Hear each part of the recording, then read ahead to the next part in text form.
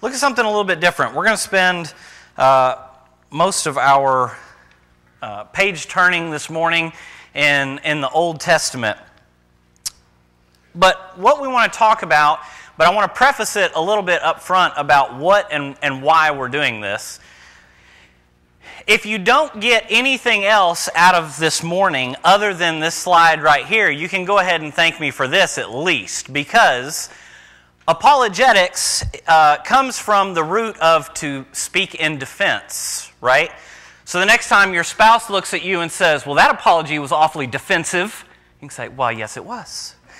Yes, it was. It's biblical to be defensive in your apology, unless you're me and it doesn't work. All right, so but what we're going to do is we want to look at this is the idea of kind of how we got here. And this is what we stress all through, especially in, in youth group in those early years, uh, is that I don't want anyone at any point in their life, when someone says, Why are you a Christian?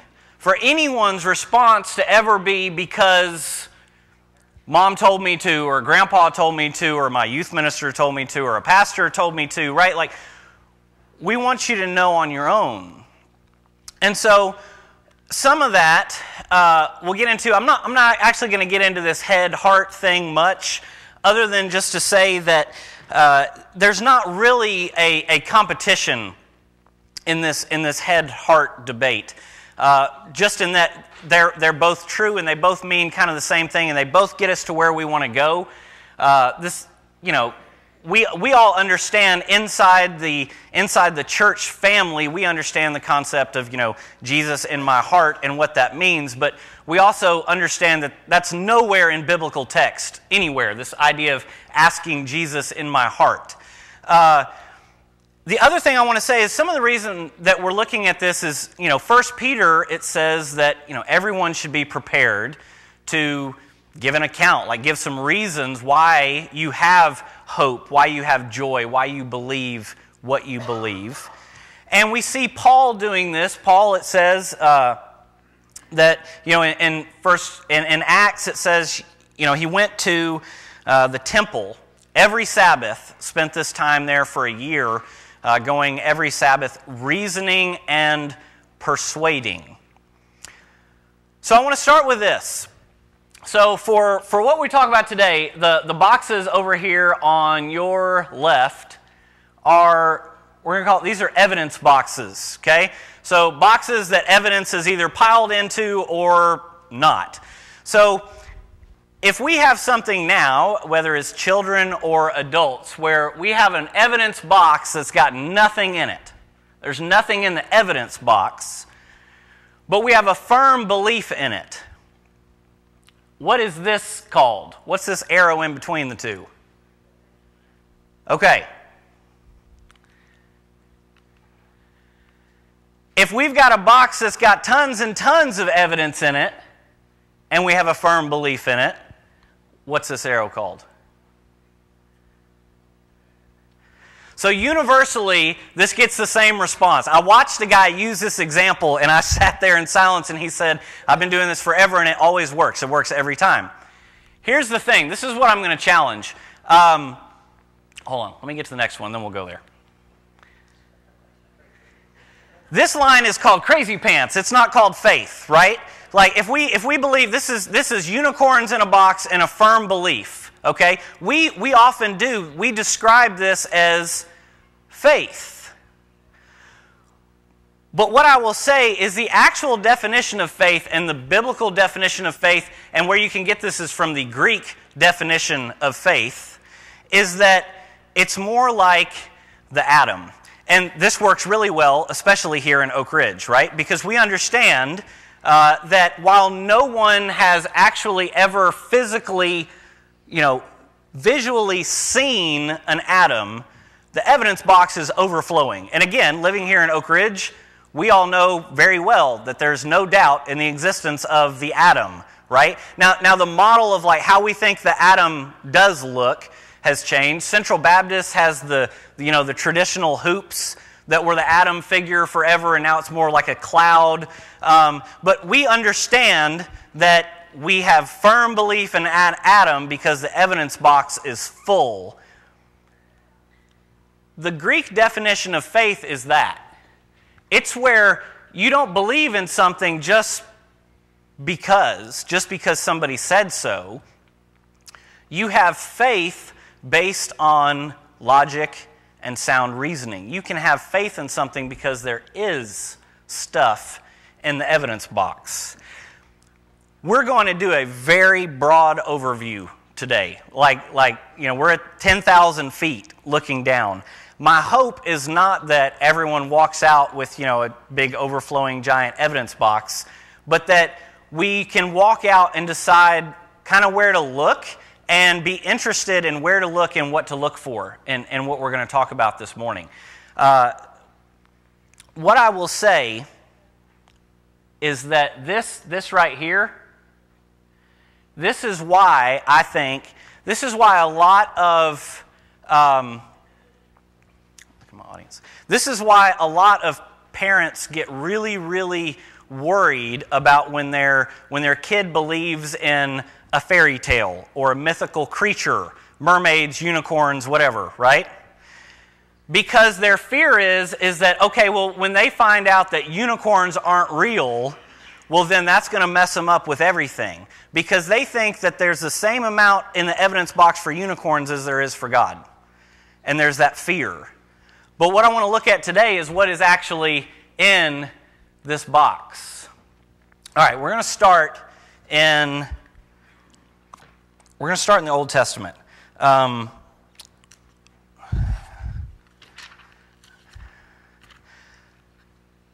so we know that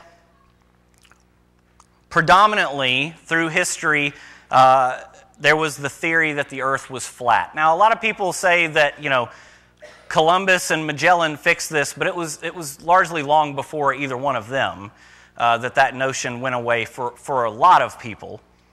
But we know eh, kind of the very first mention of this, uh, Pythagoras in the 6th century BC, but it didn't catch on, it didn't go anywhere. Aristotle kind of demonstrated that the earth was round or spherical in about 330 BC. And over the next 100 years, it was adopted even back then. You know, we're talking 200 BC, this was, this was getting traction that the earth was not flat. But uh, you know, up until even the 17th century, most of China still, you know, believed in flat earth. You would be shocked to know that there are still people um, who, who believe in flat earth, but that's for a whole other sermon. Uh, the creation stories from lots of different cultures uh, even have a flat earth in their creation stories, you know, their, their Genesis and their mytho- mythology books. Uh, usually about, you know, a body of land and it's surrounded by a giant ocean sitting on this flat, uh, flat surface. Okay, go to, go to Isaiah.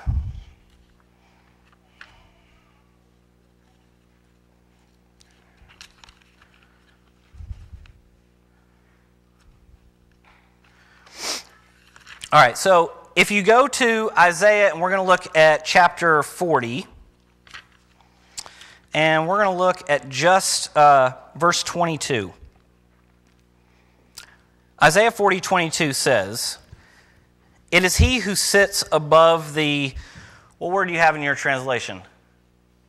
Circle. Some will say spherical uh, or sphere. It is he who sits above the circle of the earth who stretches out the heavens like a curtain, who sits above the circle of the earth. Now, what's interesting here is that in Isaiah, uh, this is, Isaiah was written 400 years before Aristotle.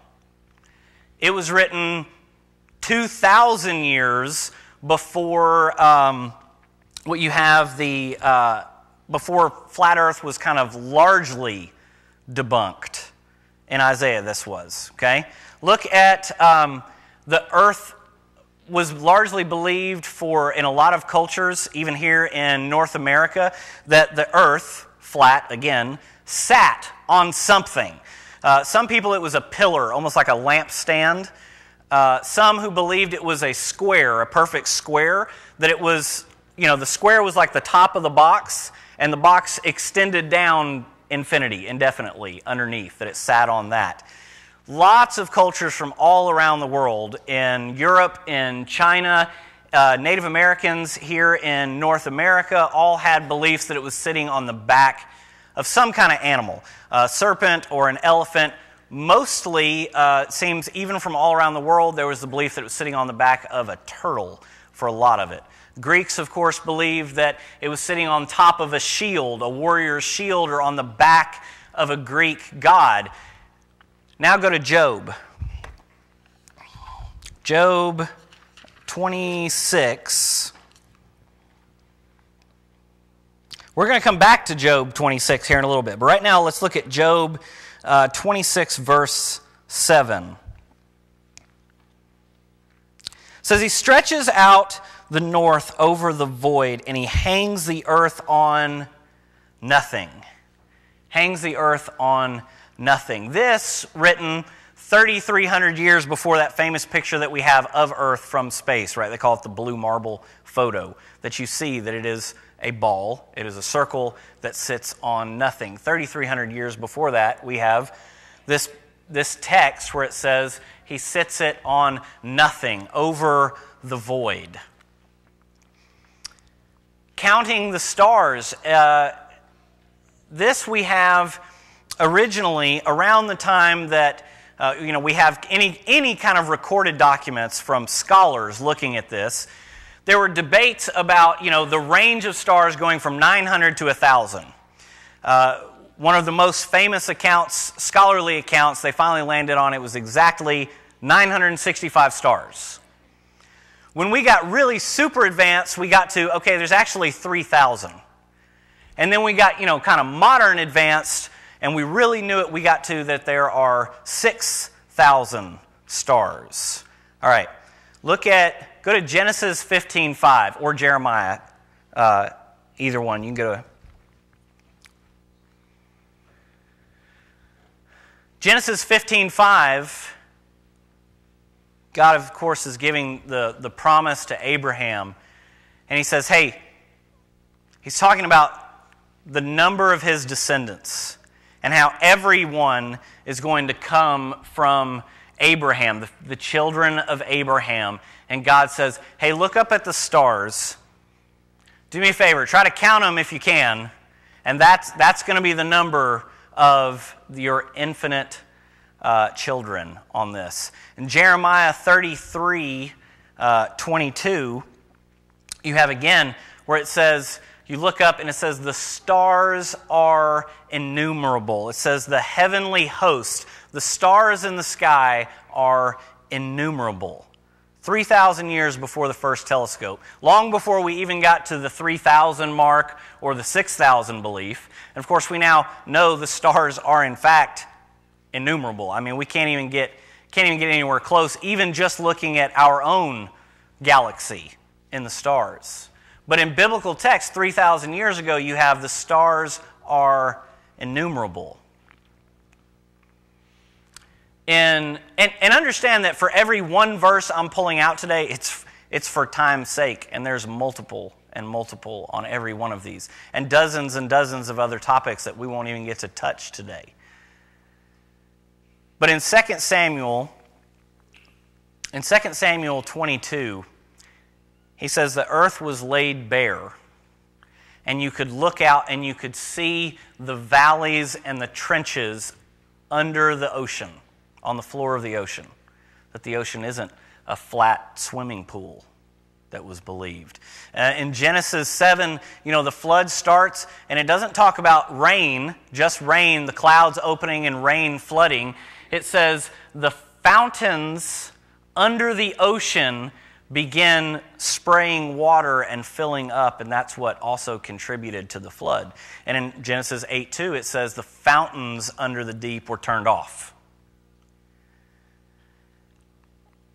In Job 38, actually, go, go to that one. Go to Job 38. Job 38 is, is a really good one, that whole chapter, because that's the terrifying one where Job has you know, been making his account. His, his fantastic friends have finally got the best of him, and he starts laying out, and he's, you know, you know, you're right.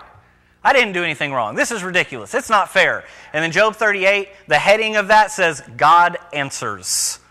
And Job thoroughly regrets all of his conversations up to that point. Well, in this answer, uh, in Job 38, verse 16. Again, Job 38 starts with God looking at Job and going, Remind me where you were standing exactly when I. And he goes through. And in verse 16, talking to Job, he says, Have you entered into the springs of the sea or walked in the recesses of the deep? We have over and over again in biblical texts showing that the bottom of the ocean floor completely impossible for anyone to know anything about the bottom of the ocean floor, being filled with trenches uh, and valleys and mountains. And to me, the craziest part was this idea that we see that it is with, filled with fountains and springs coming up out of the deep, which of course we now know is scientifically accurate about how that works and the existence of them. Uh, going through Job several times in Job and in Ecclesiastes as well. You have kind of these talks about the scientific, about the water cycle, about where the water comes from, and that the water comes from it is built up within the clouds, but the cloud doesn't break. Uh, it talks about how it evaporates and comes back in, and how it cycles and then turns back to rain, and how it all works going through explaining the water cycle through here. I once heard uh,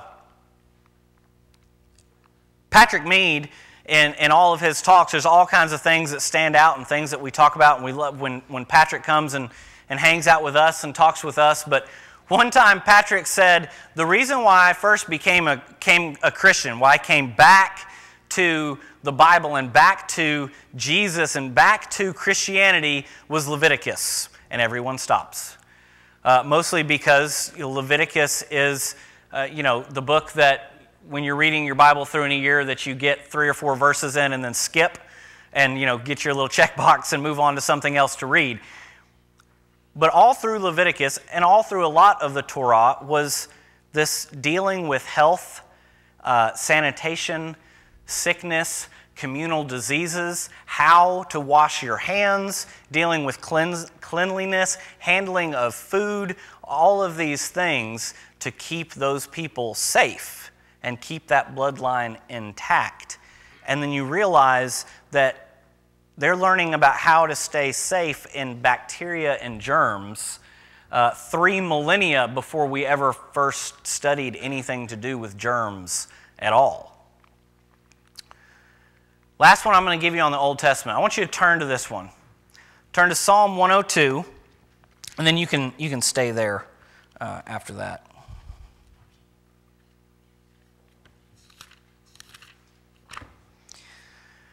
Psalm 102, 25 through 27 says this. says, Of old you laid the foundations of the earth the heavens are a work of your hands. Starts out with, Look, you made all this. And then 26 is what it says. It says, They will perish. Okay. But keep going. But you will remain. They will wear out like a garment. Everything you made, the foundations of the earth and the heavens, will perish as they wear out like a garment. It's crazy to hear uh, scientists give lectures on how, you know, in the book of Psalms, this concept of entropy was introduced. And that, you know, we're talking about theories developed in laws of thermodynamics, and that the universe is spinning down, Earth is spinning down, energy is spinning down. Now, all I'm showing today are these little snippets about why we can say the Old Testament has something. There's something there. Why this isn't a, a, a, book of fairy tales, why there's ideas that are there that we can point to, we can hold on to, that have been scientifically validated. Let's look at the New Testament.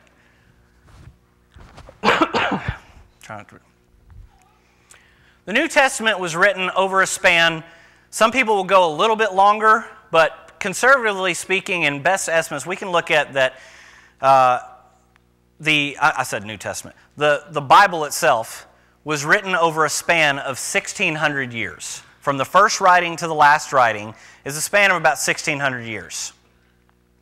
In that, in, in what we currently have and what you're holding in your lap or in front of you or on your phone or whatever, we have split out into 66 books. Now, some of those books were actually combined and we split them for things and scroll length and whatever, but around 66 books is what you're, what you're holding in your hand. Written over 1,600 years by about 40 different authors. And in those 40 different authors, you had people living on three different continents, and they wrote it in three different languages Genesis to Revelation, how we have it set. Written over a span of 1,600 years, 66 books, 40 different authors, three different continents, three different languages.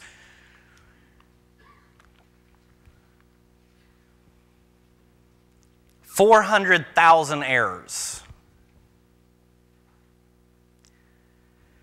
This is really hard when someone tells you this. until you look at it. 400,000 errors, okay? This is well documented. And, and, and, largely studied, there is a professor at Chapel Hill who studies this, loves statistics, hates the Bible and Christianity, but he loves statistics. He's really good at it. And a lot of this comes from him. Nearly 300,000 of the 400,000 errors, they're spelling errors written by people like me who can't spell and ask their nine year old to spell for you okay? They're spelling errors. I'm not kidding. I'm not making this up. This is not validated by Christian people, okay? But there's more, right? That, that still leaves 100,000.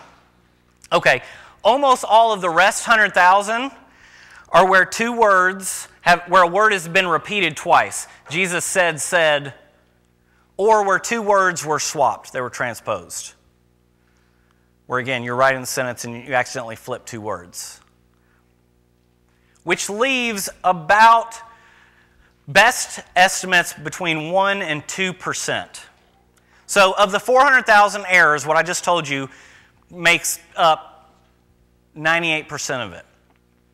But here's the thing about the 1 or 2% that's left everyone, uh, including people who have tried to use these statistics to see what they could take away from biblical text, all unanimously agree of the 1% to 2% that is left over, it has zero bearing on the theology or the teaching or the doctrine of the Father and Jesus Christ. None whatsoever. It's things like the, the end of Mark, where something, you know, we're not sure when it was added. It was the adulterous woman that is in John, but it wasn't in a couple of the manuscripts. Things like that that are great and they're great stories, but they don't change anything about the story. They don't change anything, whether you put them in or leave them out, about who Jesus was or what Jesus taught. Which leaves us with what they call 98% literary, 98% pure for a work that was written over a 1600 year span on three different continents and three different languages and 40 different people.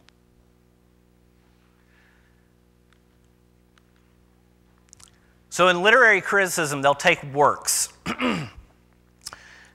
and you try to figure out okay, how many manuscripts do we have of this work that we can compare? So, we can put them side by side and be like, these stories don't even look alike. Or they sound similar, or they're dead on, you know, whatever. How many different things do you have to look at?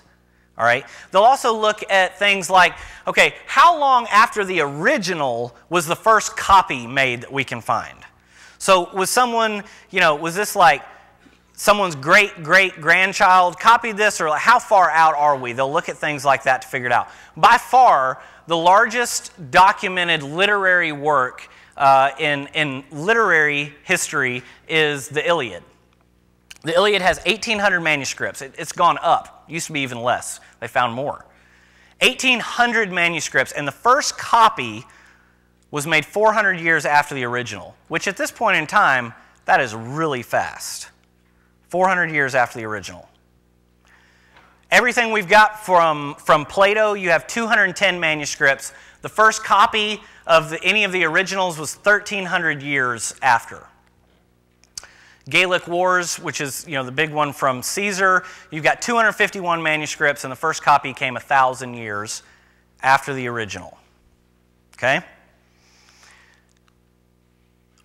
Here's what we've got literary criticism for the New Testament. Remember, the Iliad is the most well documented. There's 1,800 manuscripts of the Iliad. It's nearly 6,000 manuscripts of the New Testament just in the Greek alone. There's another 20,000 manuscripts if you count all of the other languages that it was translated in along the way by the scribes. If you take the Old Testament in with it, we've got 42,000 plus manuscripts, historically speaking. Um, and, and, and, a lot of people will say, well, there'd be even more, but you know, they, they came in and they burned a lot of the Jewish papers. Yeah, and we burned a lot of theirs when we came through too. So it, you know, we, we traded out on that. Here's the, here's the thing though on the New Testament, most all manuscripts, most all copies are within 100 years of the original. Uh, and most manuscripts, all, all manuscripts came, all writings came within 100 years of the event. As a matter of fact, all the New Testament, all the books of the New Testament were written within 60 years of Jesus' death, that you've got an original. 60 years of Jesus' death is where they date most of those. There's a fragment of John that comes 29 years after that they found. They actually just this past summer, uh, it may have been in the spring, they found a new fragment from Mark dated to 85 AD. Uh, people will say, you know, who study these things, they say it's, it's just not even fair.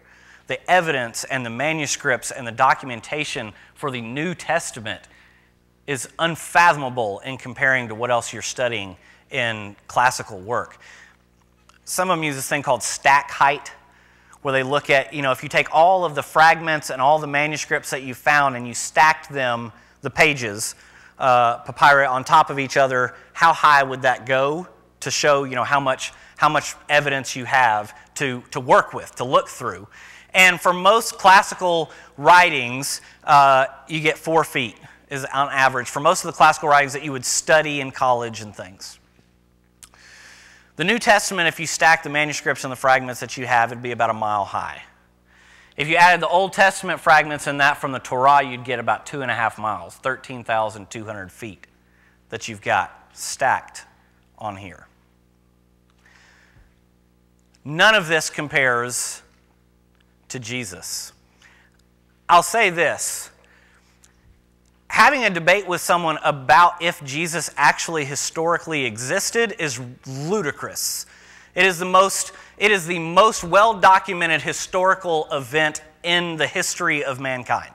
Uh, and anyone, non Christian, atheist, will, will, will agree to this who are, who are learned in this aspect.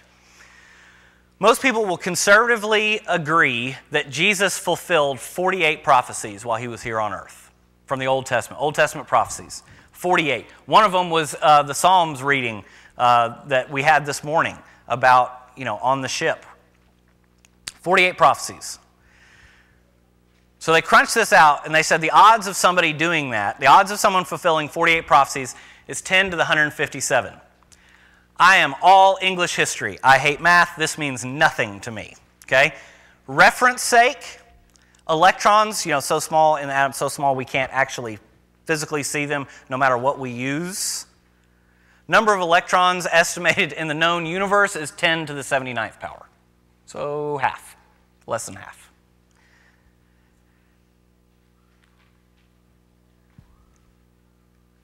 The apostles died. And, the apostles didn't just die, like, they didn't just die in the New Testament books, right? Like, we have historical writings non biblical historical writings, lots of them from, from the Jewish writings, that document the, the apostles, the disciples dying. And people will say, people die for cults all the time. And people died for David Koresh. Yeah, but they believed it. They died for what they thought they believed in. People's argument is that the disciples planned all this, faked all this, wrote all this out. So you're telling me that they died for what they knew was a lie and they made up? Where's the payoff? I want to talk about Roman executioners. Won't go into this much, but understand that historically speaking, the, the crucifixion uh, was mastered. They were really, really good at it. And the people who, they didn't go randomly find someone and say, hey, go do this, you know, execute this person through crucifixion, right? Like these were, these were trained professional killers. This is what they did. Uh, the American Medical Journal uh, has run numerous articles that say historical documentation proves Jesus Christ did, in fact, die on the cross. They will say that accounts of how it happened, water coming out of the side that we now know is, a, is part of it. Like they, they, everyone, again, it is one of the most well documented accounts in history. Jesus did die on that cross by professional executioners. Soldiers guarding the tomb, like, well, you know, they, they fell asleep, or they were in on it, or they, they walked away because they got tired, or whatever. Again, these are professionals. And Rome was convinced, like, if this dude's body disappears because his disciples come and drag him off, we have a coup. Like, it's going to be nasty. We're going to put it down, but it's, you know, it's bad press, right? So they put soldiers there, again, professional soldiers, to guard this tomb, who would have been executed had they fallen asleep on the job. The very first people uh, the very first people to find the tomb was empty and the very first people to see Jesus risen were a group of women. I know in this day and age, this is really hard to fathom. But way back then, and you know, when they just didn't know any better, they thought women were crazy and unreliable. So glad we've come so far. If they were going to make up a story and use credible witnesses to prove that it happened, they would not have picked a group of women to be the first people to go out and preach and tell everyone that Jesus had come back and they had seen him. If they were looking for credible witnesses to say, I saw Jesus with my own eyes, the tomb was empty, and he is coming, they would not have picked a group of women to do it. So, why on earth did they? Because it's what happened. And they're reporting hey, this is crazy and this is what happened. When I talked earlier about when the New Testament was written, you've got written between the earliest dates are, are debatable, right? we we there's a lot of wiggle room here, going from some people will date things back as early uh, when you're looking at like Luke uh, or, or Mark will date things back as early as even like 30 540 AD. Most people won't go back that far. Most people will say 50. Uh, but the furthest out you get any of them is about 90. Okay? And so my point with this is, is what Paul said when he wrote his down. He's like, look, then he appeared to 500 people. Some of them Christians, you know, some of them believers, some of them non-believers. And I'm, I'm writing this right now, and it just happened a few years ago. And sure, a couple people have died, but most of these people are still alive. Just go ask them. The books of the New Testament were written when the eyewitnesses, believers and non believers alike, were still living. And so if, if, I wrote, if I wrote a book right now about how Mark Span got up this morning and as he sang, he like levitated and flew around the auditorium, I'm not going to sell many books, right?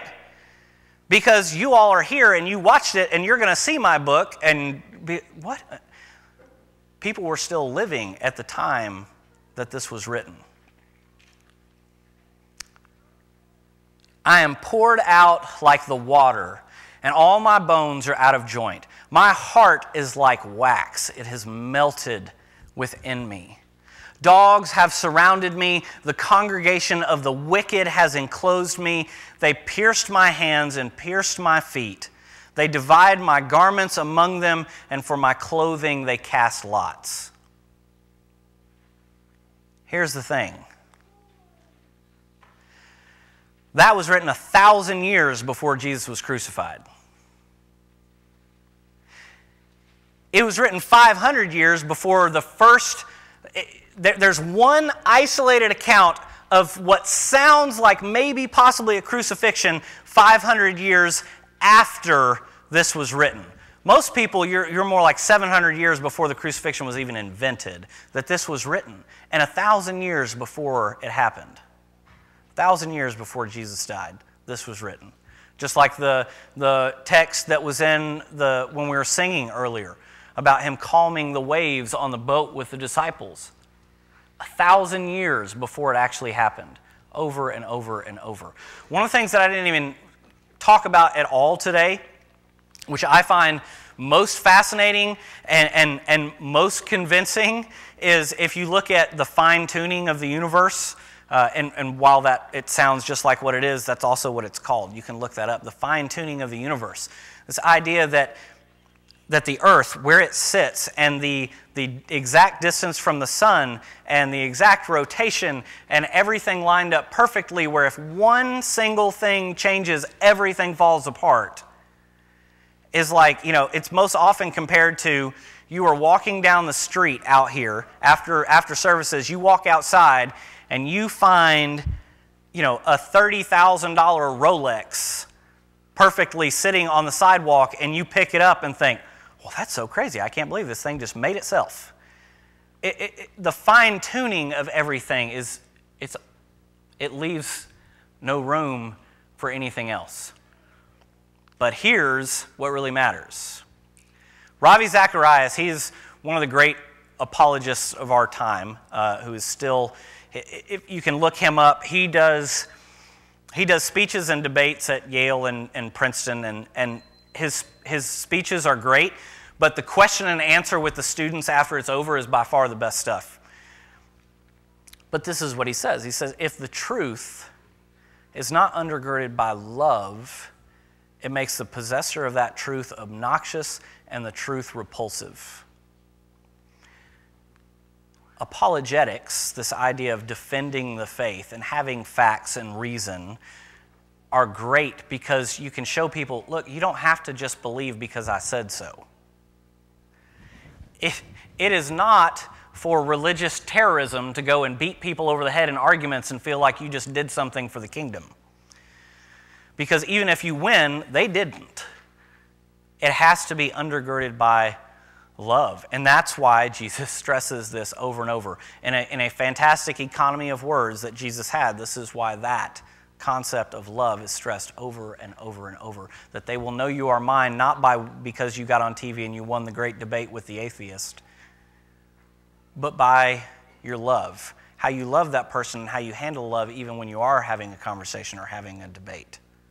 If it's not done in love, then the truth is repulsive and we get nowhere.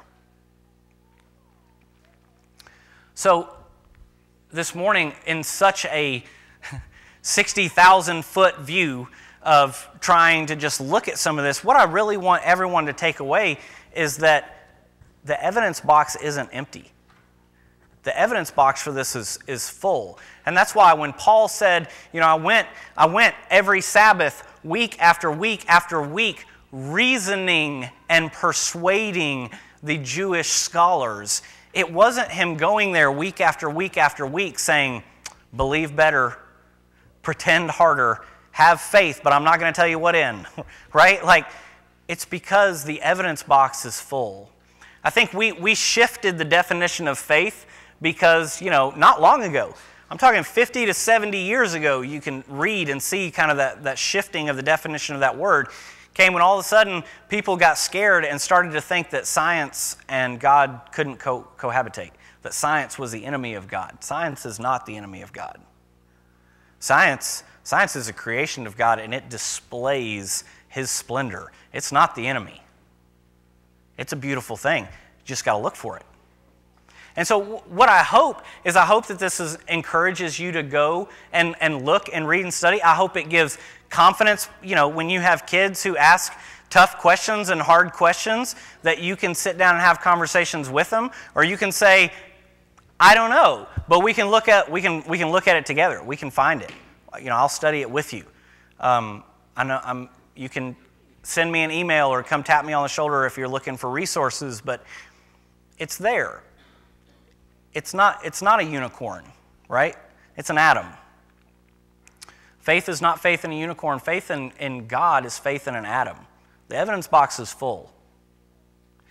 So, this morning, I, I want to encourage you to, as we, as we finish as we finish our time of fellowship and, and we go and we get to hang out and have lunch, and then best as we get to go and we go caroling, when you leave after that, I want you to go and, and be encouraged to look at some of this on your own because, like I said, we scratch the surface, it goes much deeper. I want to encourage you uh, here in just a minute that if there's anything we can pray with you about or we can pray for you, we, we would love to do that we would love to do that because we want it to be not about anything other than we are called to love and we are called to be family.